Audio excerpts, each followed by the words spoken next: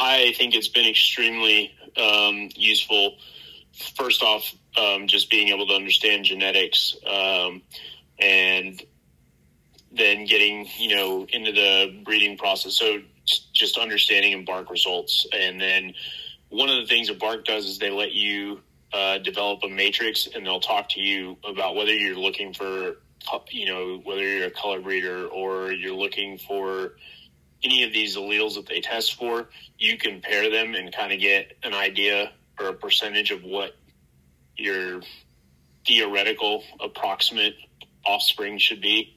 Mm-hmm. Um, from that aspect, I know um, a decent amount coming from the science background, and uh, I've done a lot of a lot of work in genetics, so that was extremely helpful. Um, moving forward to where I'm at now, um, as a side business, I'm potentially looking at opening a mobile kind of repro, not clinic, but um, testing. Um, I do my own progesterone test. Um, I do, you know, I've spent thousands and thousands of hours under a, you know, looking under a microscope.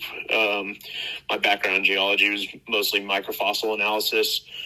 Um, so I can do my own fecals. I can do, um, you know, any of the microscope work. I kind of have a lot of that equipment um, on site and on hand that, you know, just makes things easier, um, especially with an aggressive breed dog that – is hard to transport to the vet. Um, my closest repro clinic is two hours away in Dallas. So to be able to, with as many dogs as I'm breeding, it's absolutely unfeasible to have to, um, you know, bring two high, first off, transport two highly aggressive dogs that may or may not like each other. Um, then bring them into a clinic full of strange people and dogs, which they want to aggress on. Um, so being able to do all that stuff in house, being able to AI myself, all that kind of stuff, that makes my life so much easier. I mean, it's more everything is geared around the dogs. Yep. So I would say it's more of a dog farm. Um, uh-huh. I mean, that doesn't sound good, but uh, it's kind of what it is. You know, every every aspect of everything I'm doing is giving the dogs a job um, making sure that they are working and being utilized in the fullest potential. Um, so I have I have livestock. I have um, well, first off, I'm on 30 acres. Um, I've got hilly, uh, deep woods. Um, when I first bought the property, it was not fenced at all. Um, so and it wasn't cleared either. So the my house kind of uh, shop kennel area now is in the dead middle of the property, and um, that's where the dogs were living. And I live off a major highway, so that was kind of the first um, barrier and obstacle was training the dogs to have an extreme recall. Mm-hmm. Um, and letting them kind of do their thing um, with the predators. There were coyotes that would come right up to the porch. I had 400 pound hogs um, that I was shooting 20, 30 feet away from my porch. Mm-hmm. Um, and that's, you know, where the heavy brush started. So, uh, first I had to clear all of that out.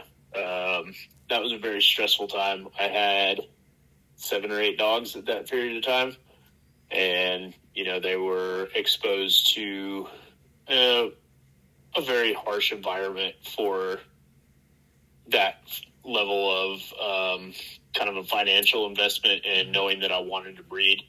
Um, they, you know, they were presented with very real threats. Um, they were run, you know, they were they were actively fending off hogs, coyotes on a nightly basis um, packs of 20, 30 coyotes. And, you know, I, I actually ran livestock guardian collars that you would see on Turkish dogs um, when I first moved out here that are basically um, a hurricane tie that's cut in half. Mm-hmm. Uh, that's like a four inch razor sharp spike. Mm-hmm.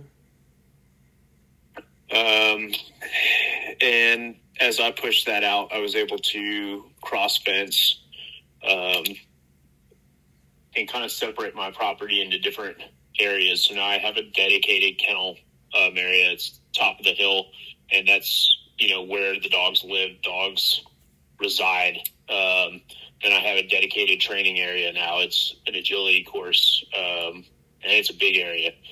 And then um, the rest of the property is broken up into different areas for livestock. Um, I'm running Watusi, which is like an African uh, cow that you see that's got the really big horns. Mm-hmm. Um, so they're and those kind of those at you know based on the season and based on you know their grazing, they at some point are running every area of the property. Um, I've had up to thirty uh, sheep at a time. I just sold a bunch of them, and I'm starting a new herd. Um, so those are, you know, what I'm mainly raising the livestock guardians with is they're protecting sheep. And then I've got chickens. At one point in time, I was breeding rabbits. Uh, I've got turkeys, ducks, quail. Um, just you know, pretty much a little bit of everything. I'm doing a lot of gardening, gardening, um, mainly with exotic peppers, uh, very hot peppers. That's something my brother, um, you know, is very into. In um, so I'll let him, you know, utilize a pretty large area of the property for that.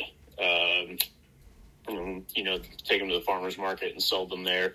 It's an opportunity for me to bring my dogs out, and that's how I'm selling them locally and getting um, in front of my kind of local audiences. I bring them to the farmers market with me, and they sit around. Um, Aurora, uh, she's my first Caucasian Ovcharka.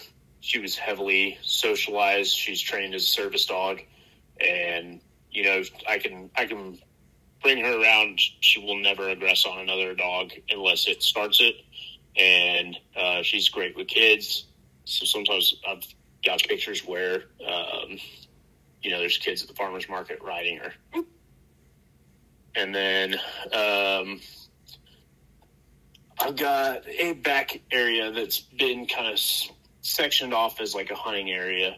Uh, there's a creek that runs through there, and I have that is now the only part of the property I ever see hogs, deer, or anything like that on.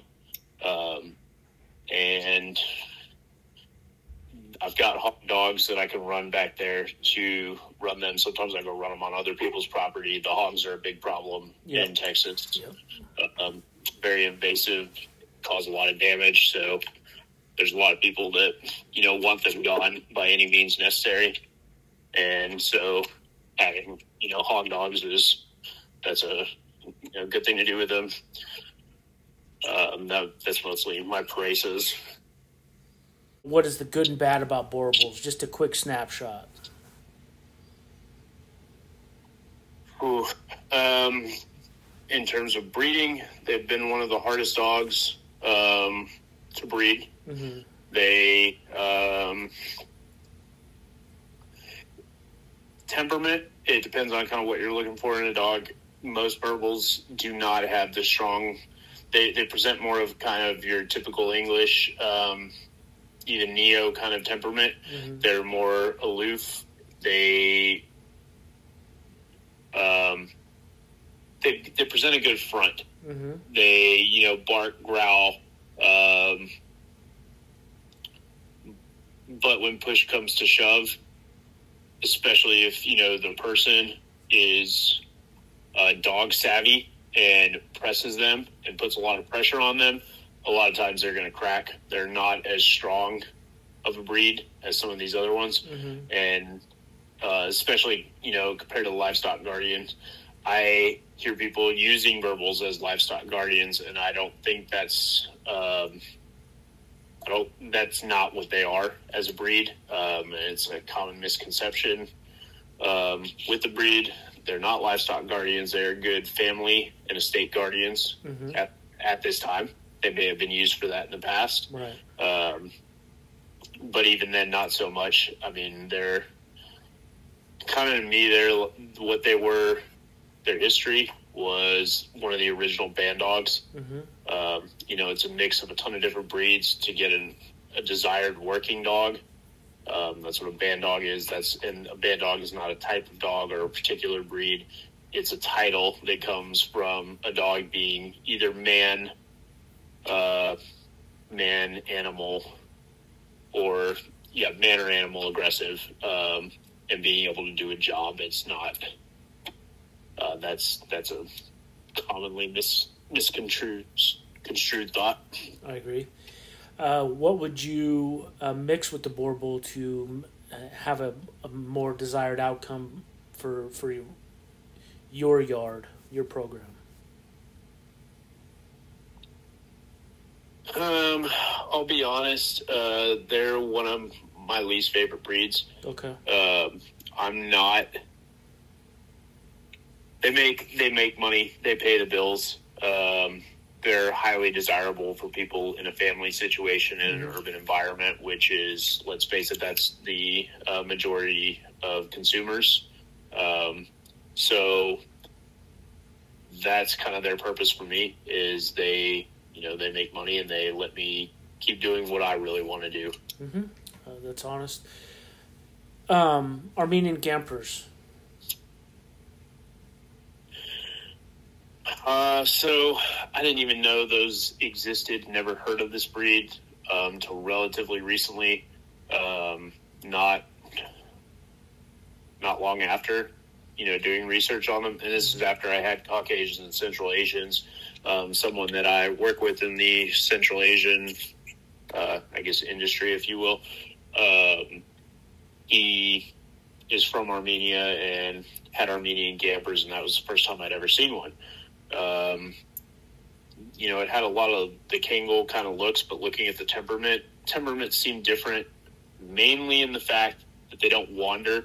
Um, that's one of my biggest, I guess, pet peeves is wandering livestock guardians, um, especially so. And that's a lot of that's something that a lot of people in you know the U.S. seem to um, get wrong, I guess, and a misconception about livestock guardian breeds is that you know they're not going to leave your property that they're going to guard your property that they're going to guard your livestock.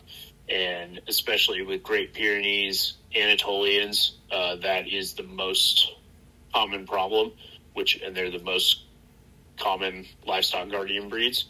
Um, i have lots of neighbors and then that have them. And in texas we i guess call it the texas mastiff and it's a Anatolian, I mean, very unofficial, but it's an Anatolian and Great Pyrenees cross.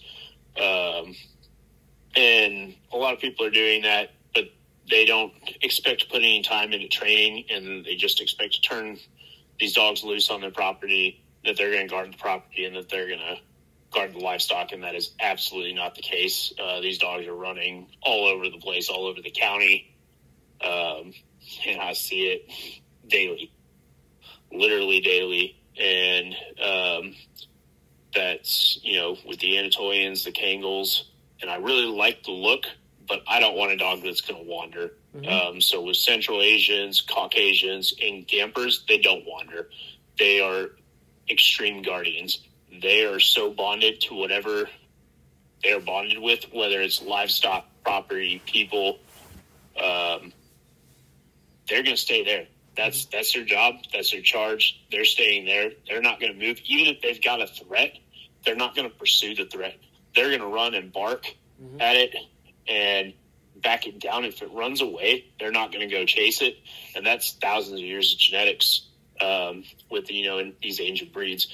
It's not. It's just not in their genetics to do that. They're going to guard. Mm-hmm. And so I love the look of the Gamper but it came back to temperament and functionality. And I, you know, realistically, I've only got 30 acres. I'm on a very small piece of property. A lot of people would say that's a lot. It's not. In Texas, I'm my neighbors. I'm bordering a thousand acres mm-hmm. and 150 acres, another 150 acres. So I've got a very small parcel. Uh, go out to West Texas, and you know, there's a lot of other big ranches. If you're in Alaska, Montana, Wyoming, you know, you've got big ranches. So you can have a wandering dog that, you know, can go as far as you can see. for me personally, I wanted something that's going to be tied to my property mm-hmm. and that isn't going to cross perimeter lines. First and foremost, because it's legally like it's a lawsuit. I don't want to get sued. I want these dogs, and I and that's one thing I haven't touched on um, is what I'm doing for perimeter patrol and how I'm teaching the dogs to um, basically mind my fence line. I only have four foot field fence around um, kind of the inner area and the outer areas of my property. But to keep them, you know, in that area, I walk them daily along that fence line as they're puppies, as they're growing up. Um, every dog, every day, they see it literally every day and know that they're not supposed to cross that barrier. And it's just a visual barrier. It's nothing they can jump over. I've got dogs that are climbing 10 foot fences with barbed wire on the top, no problem. And they're managing to get through. If they want to get out, they will. So it's teaching them that that's not their job, that's not their purpose. Um, and then I move into tracking collars. If you look through my Instagram, I've got um, pictures. I use Dogtra um, Pathfinders, which are um, I've been introduced to them through the uh, Coonhound community and the hog dogging community. They are uh, a GPS tracking collar that lets you run 21 dogs at one time, and um, it's all on your cell phone. You set a geo fence, mm-hmm. So that's actually where my actual fence is, and it calls me every time, or you know, sends me an alert that dog, you know, is crossing the fence. So if you put it five feet, you know when the dog's getting close to the fence line. You put it five feet in front of the fence line. Um, and it's got a toner and then a shock collar on it. So, you know, you would tone them and you teach them this in advance before you actually expect them to listen to it. You know, that's training process. I'd have to do a, that would be a whole two hour conversation just on using shock collars because it's, um, a lot of people mess that up, and it's it's the quickest way to ruin a dog. Mm-hmm. Um, but these are highly useful. You use the tone, and um, eventually, I teach them that the tone is a recall, so they can be anywhere, and uh, the tone is a recall. But at first, I use it as a precursor warning to, um, you know, they're going to get shocked. Mm-hmm. And that's only when they cross the perimeter line. And if you teach them that as puppies, as they get older, um, you know, it's heavily instilled in their behavior. Uh, but that was that was the first thing that I reason I chose the Armenian Gamper was because it's not a wandering dog, but it had the look that I wanted, mm-hmm. um, which is kind of like that Kangal Malakli look. Very similar. Yeah. Um, they're both both hardcore livestock guardian breeds or extreme guardians. That's what I'm going to call them. Okay. All the, these three breeds, I'm going to tell you that they're extreme guardians. Okay. Um, Caucasian Ovcharkas, Central Asian Ovcharkas, and the Armenian Gampers. Um, doesn't matter what they're guarding, they're going to do it to an extreme. Um, whether, yeah, like I said, property, you know, a perimeter line, people, like a family unit, um, or a single person or you know a flock. I wouldn't say I've I see anything temperament wise, um, breeding wise, their structure. Um, you really have to watch their back legs. Um, their or just their legs in general. Um, they are a much taller dog, mm-hmm. so they grow faster. Kind of what you're doing when they're puppies heavily influences what the outcome of your adult dog is going to look like. Um, it's everything you'd hear about, you know, raising mastiffs. Diet is a main concern. Um, not keeping them on concrete. You just have to be very cognizant and aware of how you're raising the dogs, um, so that your environmental, you know, issues don't have an impact on um, how their bone structure, mainly in regards to their legs, turns out. Mm-hmm. It is just because they're they're tall. They're very tall. Mm-hmm. So they're the most extreme in terms of guarding. I have one that lives in my house. Um, you know, a lot of people are going to tell you they're not a house dog. They can't be a house dog. Well, they can be. The problem is they're going to be so aggressive and territorial it put in that small of an environment. Um, it's it's going to be like a hyper aggression. Um, they don't like anything new, whether that's give it an example. If you had um, you brought one into a family, raised as a family dog, mm-hmm. and the dog is hyper protective or bonded very well with your kids. Um, if you ever went as a parent to discipline your kids, that dog very well might bite you. Mm-hmm. Uh, they, they have a very very strong bond. Um, the Caucasians don't have as that that level of bonding. Um, they're more they're more independent and kind of stubborn, whereas the or the Central Asians are more reactive and kind of needy, I guess. But it's as a result of that bond. Um, they want and expect more human interaction, um, and then they're they're just they're more reactive. They're they're going to drop and flip that switch um, much faster than some of the other dogs. Um, a lot of people see that and think that with the Caucasians. My experience has been that is the case with the Central Asians um, in terms of reactivity. Interesting. Uh, do you have Neos on your yard? Do I have what? Neapolitans? Uh, no. I have a Neo hybrid. Um, it's a Neo English cross and um, I don't like English Mastiffs uh, that much. They've become kind of, I mean, people call them doormats uh-huh. um, for a reason. They're very sloppy, and a lot of your show neos are the same way. Mm-hmm. Um, I do like how that Cane Corso I used to have. You know, it it had some excessive jaws or jaws for a cane corso, a little bit wrinkly, but he was pretty athletic and you know ran a lot. Um, their old purpose is as a catch dog. They were running catch dogs. They could run. They had height. When you go back even further than that, they were you know called the dogs of war. Um, the cane corso and the neos are from the same breed they were at one point in time just the Italian Mastiff. Um, and I think, I believe it was around the 1920s, 1930s, and 40s that, you know, they separated out into two different breeds. Um, I like these old, prior to that being a distinction, you see old pictures from like the 1920s. These dogs are very tall. Um, they don't have excessive wrinkles. They're not fat. They are fit very working, capable dogs. Um, I love that dog and that idea of a dog. Um, it's kind of what drew me to this uh, hybrid, and I saw I like the size. Um, I used to be much more into having a large dog, so uh, size and height were important.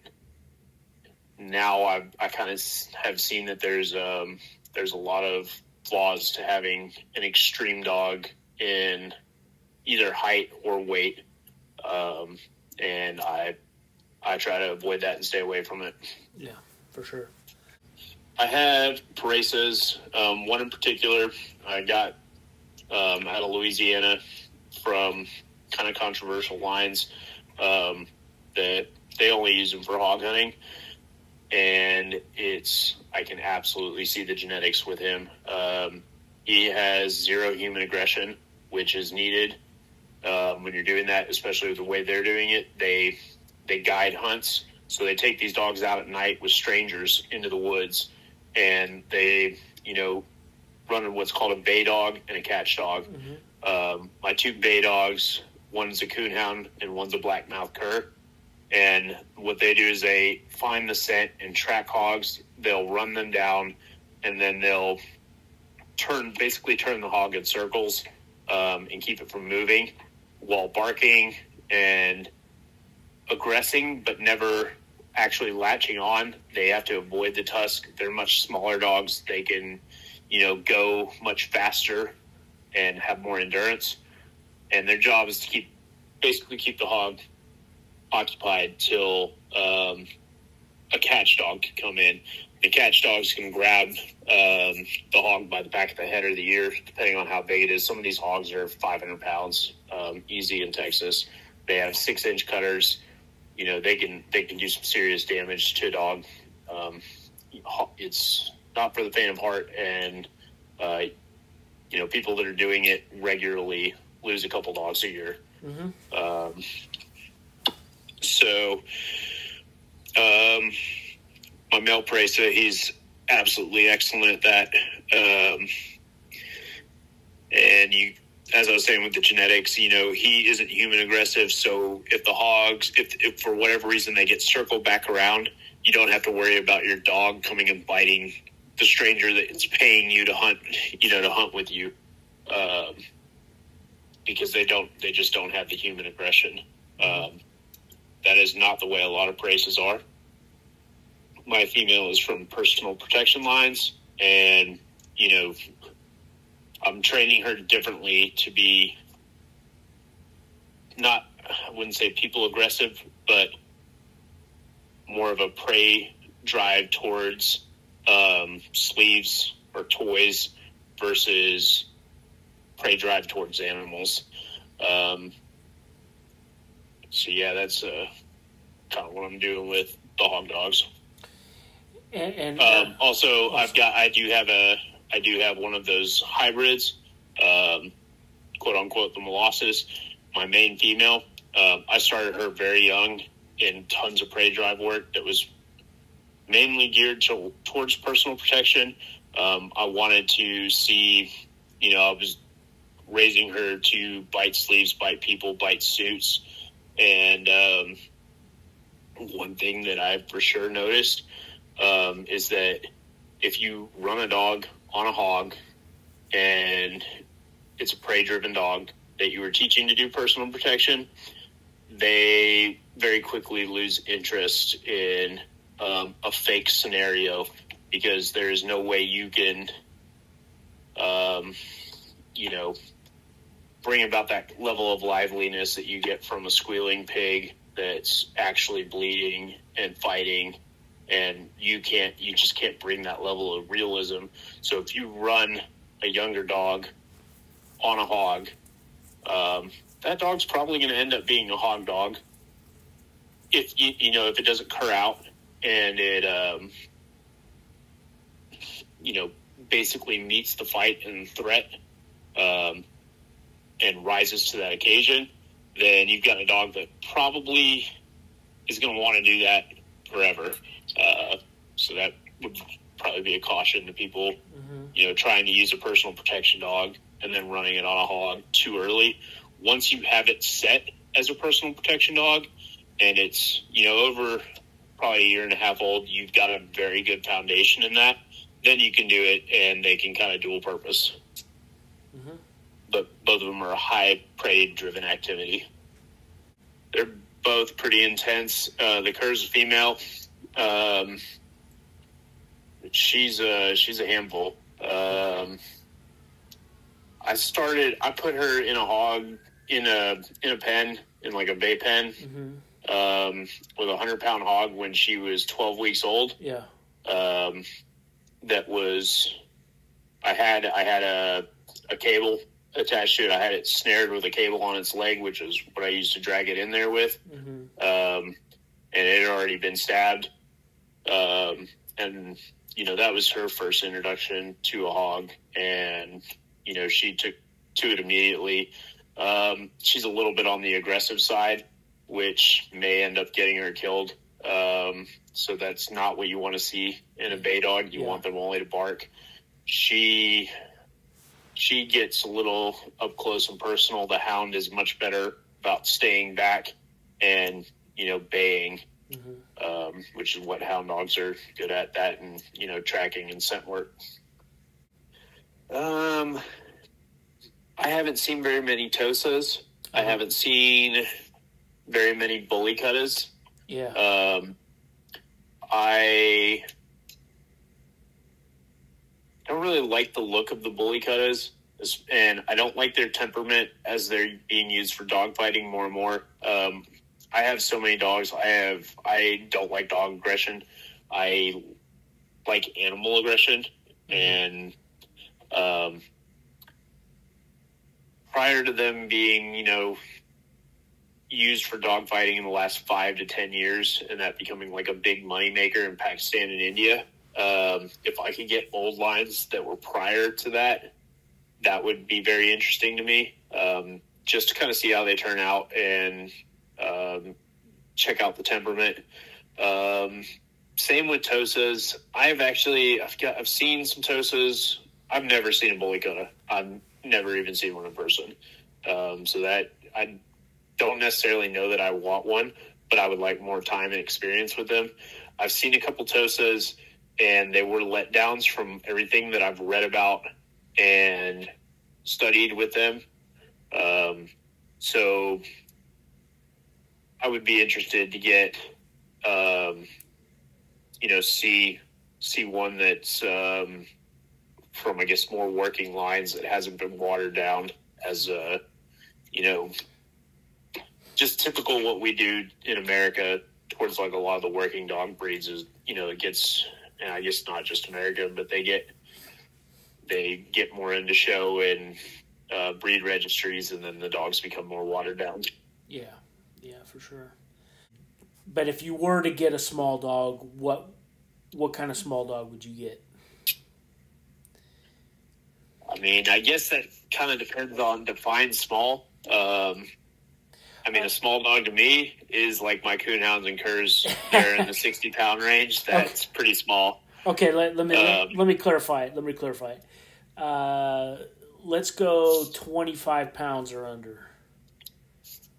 Um, I've had Jack Russell Terriers that I used as squirrel dogs mm-hmm. and rat hunters, uh, barn hunting type dogs. Uh-huh. Um, I love them. I love. I've seen some really high drive uh, little ones um, that that you know were pretty awesome. Um, so I, I've had those. I like them.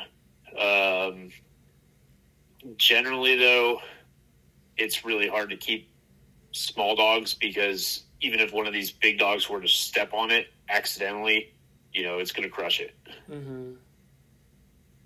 Um, so yeah, it's just not as not as feasible. Anything.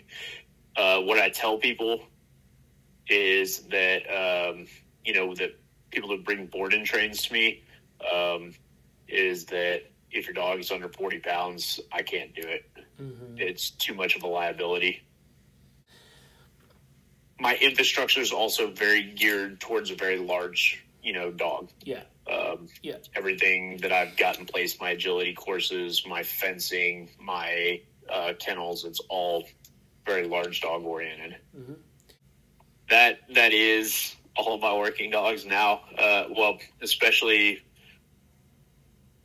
my Aurora, my first Caucasian Ovcharka, Mika, my first Central Asian Ovcharka, and Rogue, my first uh, Mastiff hybrid. All three of them uh, kind of go a lot of times together, but you know, I always have one of them in the car with me. They are going to guard that car to the death. They're going to guard me to the death. Um, that that is my definition of a ride or die, and so they they're one of them is always with me. My ideal house dog, you know, for kind of like a, a laid back environment, you know, kind of family guardian. That that's Rogue and she is a catch dog, but she does so well in the house. Um, she's one of my house dogs. She she's a house guardian, but she's extremely lovable for people. Um, she's a she's a social star. She's got to be in the middle of everything. Um, and she has to be leaning against people. Has to be pet. And she's your Presa. Uh, no, she's um, an American Molossus. Um, is I've actually worked a lot towards getting that, um, reg, you know, getting that breed registered with ARBA as an actual breed. Um, but she's a mastiff hybrid. Um, that's a sixth generation cross uh, from with English and Neos. Um, I'm very familiar with breed, as we as we talked about before. Uh, you know, like I said, I wasn't gonna talk too much about it. Uh, would there be, and if you want this cut out, that's fine. This is the only question I'm to ask. If there was a third breed to introduce the dog to make it uh, more ideal for you, what would that be? Okay, so I just did a dual sired litter that got a lot of attention. Um, one because I'm an established breeder who says, you know, that I have these livestock guardian breeds and I've got personal protection dogs, and that's um, you know, and other working breeds, and the Molossus has um, been promoted as a family dog and a family guardian, and kind of that doormat mentality.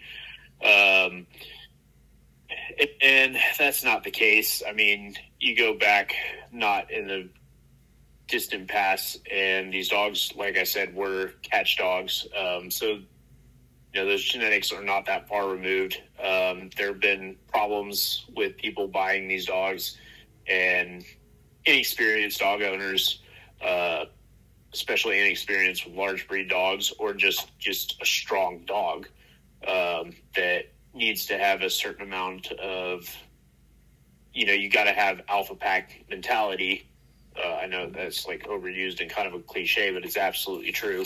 Um, you've got a certain dominance over the dog, and um, that's not being done at the right age. And you know, it's been been a problem. Um,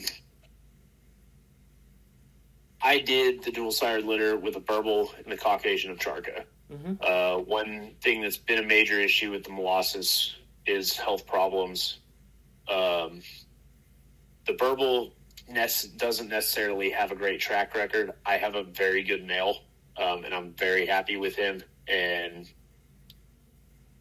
structurally, I don't see any faults with him.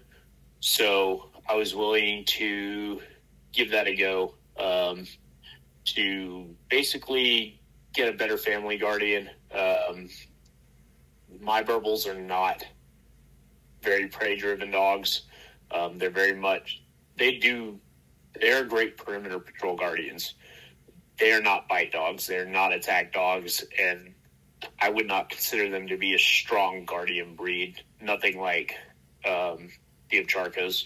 So I thought that would be a great like family guardian dog. And from what I'm seeing from the puppy that I got, I only got one uh, from the Boerboel.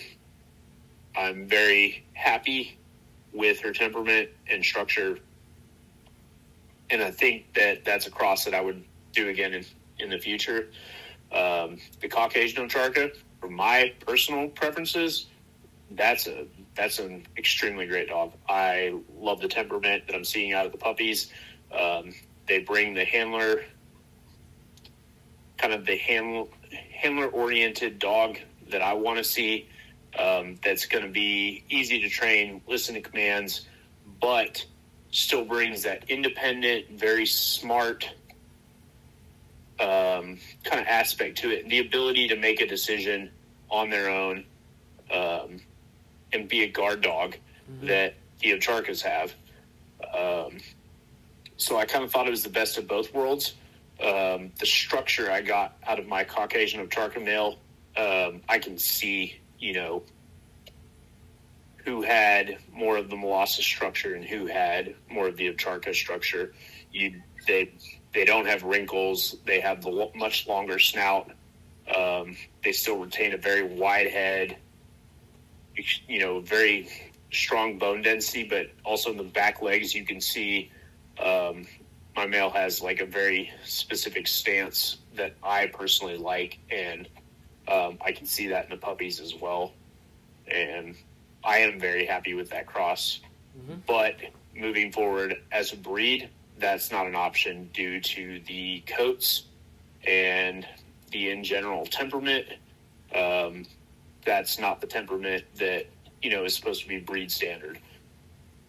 Me personally, you know, I'm not necessarily looking to follow any of that, but if I were to do that, um, I don't know. I think I don't think there's one dog, one specific breed that's going to answer and fix all the problems. Um, I think it's going to take a lot of generations of dogs mm-hmm. and a lot of different breedings.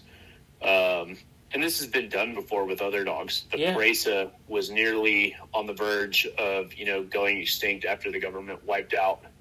Um, I, I'm not hundred percent sure uh, this is correct, but from what I understand, you know, the government came in. The dogs were being used for dog fighting. They were a ton of kennels. Um, the dogs were eradicated. It left five kennels. They were being inbred to a degree that um, was producing a lot of disease, genetic diseases, and deformities. Um, so then the FCI came in and allowed a certain number of outcrosses to other breeds. And that's how they brought the breed back to what now is the modern day Presa. And um, I think think that would be done, or I think that's what needs to be done. But me personally, I think the Boerboel and the Presa are probably the best dogs to outcross with to keep the breed standard. But I think size is going to have to be sacrificed. Um, you're going to have to kind of go with a smaller dog to correct health problems. Mm-hmm. Less extreme.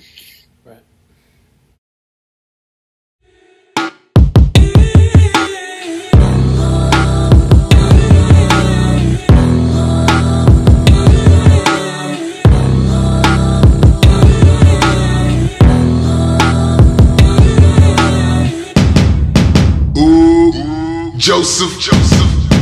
Ooh, so I must, so I must be Mary, Mary, Joseph, Joseph, Allah, Allah.